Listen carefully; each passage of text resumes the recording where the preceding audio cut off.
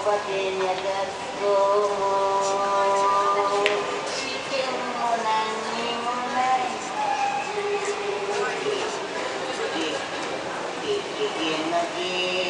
みんなで歌おう。ゲゲゲのゲゲ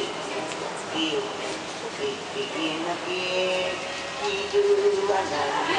おさんぽだこ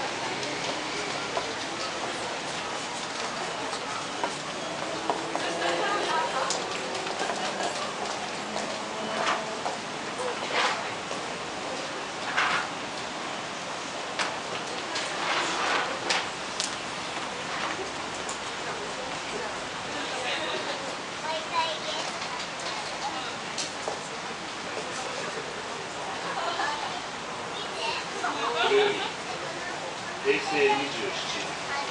11月30日ご逝去されました。水木しげるさんお別れの会を開会させていただきます。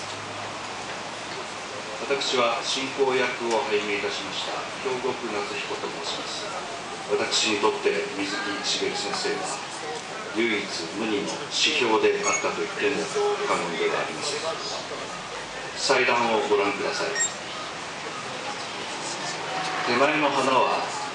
水木しげるさんが幼少期を過ごされました鳥取県境港の海原を表しております。左右の花は水木しげるさんが愛してやまなかった南方のジャングルをイメージしております。そして真ん中に大きな花の輪がございます。丸い輪の向こう側はこの世ならぬ場所です。水木しげるの世界において志願と悲願が地続きです。水木先生は今鬼太郎や悪魔かカッパの三平ら愛すべきキャラクターたちと共に輪の向こう側にいらっしゃいます。しかし今輪は開いております。この輪の向こう側に私たちの思いが伝わりますようこの会を開かせていただきました。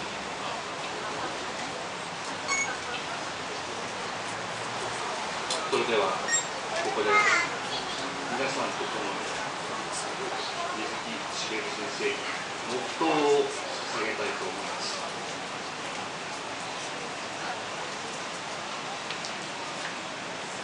黙祷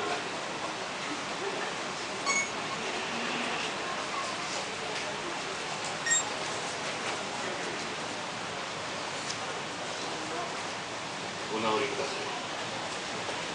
ご着席ください。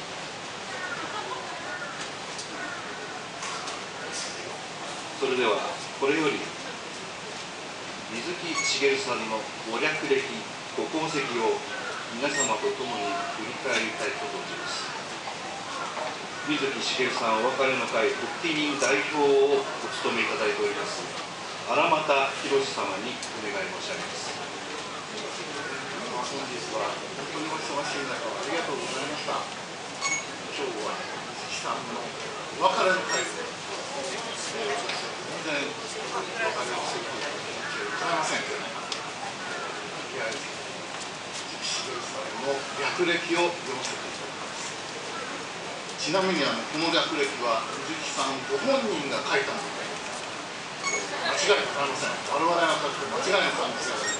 ん、ガッとさ、奥の方。自身がある点で著者紹介あ、いた今お母さん同市の高等小学校という大阪に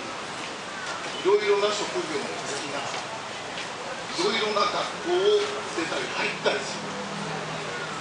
戦争で左手を失う著書には「ゲゲの鬼太郎日本妖怪大全」とか「非常にシンプルで本当に楽私そんなことは知ってるつもりで言いましたけれども改めてこの略で鈴木さんの心情というのをちょっと忖度したことがまずあのいろんな作品で大変あの活躍をなされたちの日本に、えー絶滅しかけていた妖怪をこの世に蘇らせたっていうのは藤木茂さんの最大の功績だったと思うんですがそんなことは一言も書いてありませんでしかも